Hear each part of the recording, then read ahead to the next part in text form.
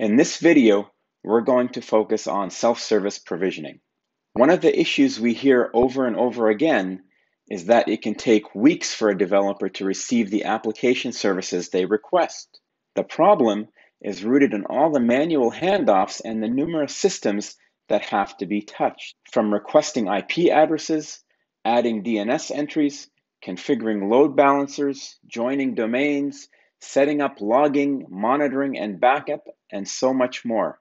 It gets so bad that these consumers end up bypassing IT and leveraging public clouds. This introduces many problems for the organizations security, cost overruns, lack of visibility, and more. Let's take a look how Morpheus addresses these challenges through self-service provisioning and automation. This is the main Morpheus operational dashboard. It's a clean graphical user interface that centralizes the majority of the operational tasks related to hybrid IT. Remember, everything you see me doing in this graphical user interface is also available via both API and command line interface. For provisioning, let's go into the service catalog and select Add. For quick time to value, Morpheus ships with a few dozen common application services, but many enterprises use the embedded library builder to create catalog items mapped to their own applications and golden images. In this case, I'll pick Tomcat. You can see by the icons on the right that this particular item is available to be provisioned as a virtual machine or a container. I'll select a group, which in turn provides me with a list of clouds that I'm entitled to. Let's go with AWS. You can see a naming policy shown here. These can be loosely or strictly enforced. In this case, I have a few versions of Tomcat available based on the cloud I selected. This will go and lay down a Linux operating system and leverage our engine to build up Tomcat. I'll select a plan. These are synchronized nightly. You can see it will show me a cost of the application on this cloud. And if I click this question mark, it shows a comparison of similar sized options on other cloud providers that I've been entitled to. This form adjusts dynamically based on the selected cloud.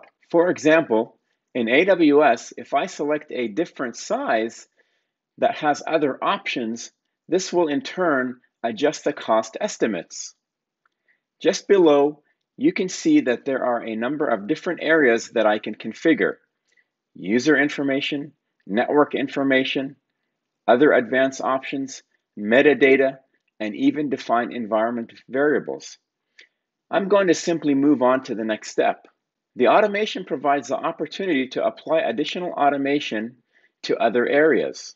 This could be workflows from anything like running a script like Bash, PowerShell, JavaScript, and Python, for example, as well as integrations into configuration management tools like Ansible, Puppet, Chef, and Salt including pulling these scripts from your existing Git repositories if desired. These can be built into the layout itself so it takes place with every provisioning request, or in this case, you can see them exposed as options that can be selected. Some items I'd like to highlight, the ability to deploy additional software, in addition to putting this behind a load balancer or applying a scale factor like an AWS auto scaling group. You also have a backup option. You can even require that backup gets set up on every provisioned instance to reduce risk. We support cloud native backup technologies such as AWS snapshots, or we have integration to other technologies like Zerto, Veeam, Rubrik, Commvault, and Avamar. Lastly, you can enforce lifecycle policies so that this instance might expire or automatically have a power schedule set. It's a great tool to help keep your cloud usage optimal. Let's review the summary and select complete.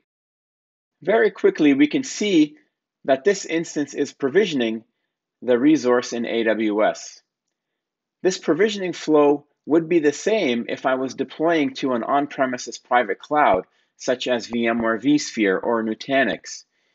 You've now seen an end to end process that normally takes many organizations weeks and now has been reduced to a matter of minutes. Get started with Morpheus today. Please visit morpheusdata.com.